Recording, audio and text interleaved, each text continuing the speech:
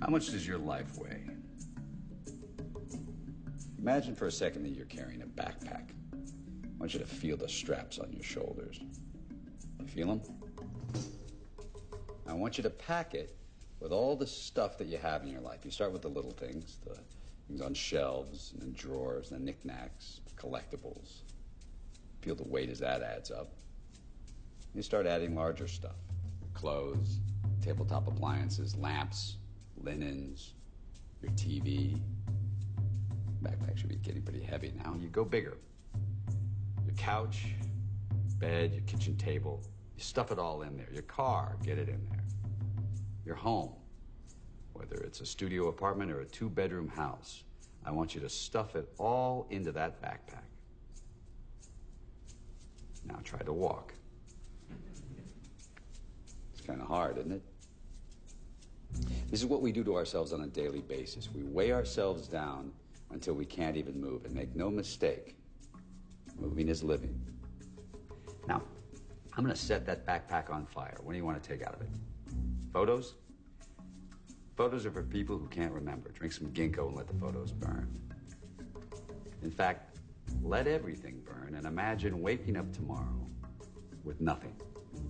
It's kind of exhilarating, isn't it? This is going to be a little difficult, so stay with me. You have a new backpack. Only this time, I want you to fill it with people. Start with casual acquaintances, friends of friends, folks around the office, and then you move into the people that you trust with your most intimate secrets your cousins, your aunts, your uncles, your brothers, your sisters, your parents, and finally your husband, your wife, your boyfriend, your girlfriend. You get them into that backpack. And don't worry, I'm not going to ask you to light it on fire. Feel the weight of that bag. Make no mistake, your relationships are the heaviest components in your life.